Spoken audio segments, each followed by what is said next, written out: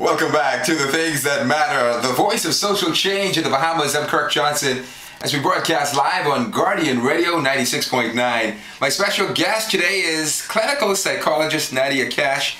She has worked with a range of people and personalities. And today, as we count it down to election day, we understand, we realize that there are a whole lot of emotions that's a part of this process from all of the excitement to the frustration even and one may be concerned about depression. Nadia, earlier you talked about the differences between depression or feeling sad and actually clinical depression. Yes. And that it's something that we need to be aware of.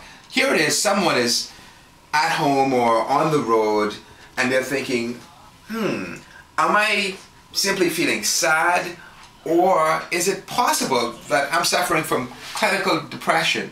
Is there a blood test? How do I know? Well, one of the things that you can do, your friends will probably, your friends and family will probably tell you something along the lines of, you've been acting different lately. Are you okay? So if people are constantly coming to you asking you, are you okay?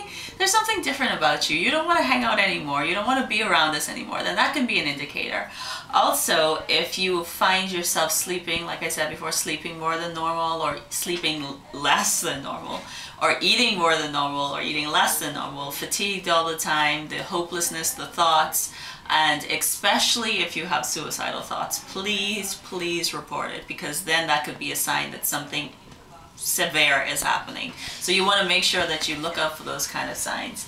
Also, like I said, the, the sense of worthlessness. If you are you having thoughts constantly that the world will be better off without me, or I I think that life is just not worth it, or my situation, my circumstance is not going to get better. It's usually definitives like that would be an indicator that something is wrong, and also if you are experiencing physical symptoms, like you're experiencing more backaches than normal, more headaches than normal, more stomach aches than normal, and you've gone to the doctor constantly and gotten these things checked out, and they constantly say, okay, there's nothing wrong with you, then maybe you want to start getting that aspect checked out also. So those are some of the symptoms and signs to look for. Would I go to a medical doctor or a clinical psychologist or a psychiatrist? Who do I go to? Well, normally people who are experiencing depression, we, we are easy to identify our physical symptoms first. And so they would probably end up in a medical doctor's office first because of the symptoms, because they usually think, oh, it's just the flu or it's something else. But if your doctor has ruled out any of any organic cause for why you're experiencing these symptoms, then you would want to go to a psychologist.